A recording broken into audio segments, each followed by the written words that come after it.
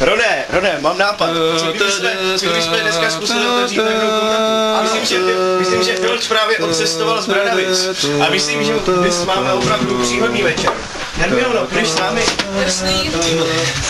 Tak jdeme. Ale pozor. Může tady být kočka pana Filče a jeho zástupce.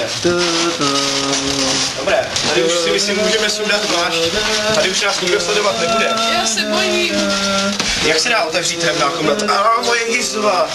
Cítím, jak mě pálí jizva. Myslím, že Voldemort je blízko. Lord Voldemort je blízko.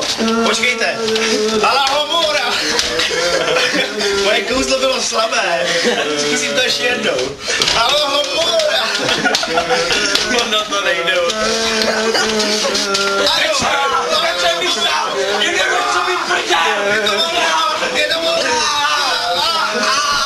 Mi!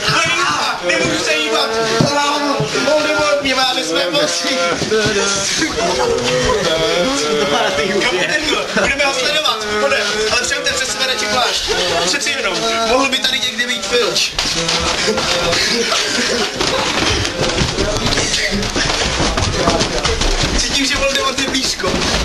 Mě pálí jizva. Tamhle je! Rychle!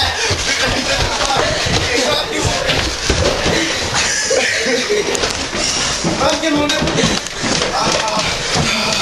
Mám tě, Voldemorte! Zdej se! Zdej se! Nebo tě opět zavřu do tajemné komnaty! Dávám se! Zaváž ten, opravdu. Je to divné, vzal se zcela bez boje. Co když to hraje? Zavřete ho!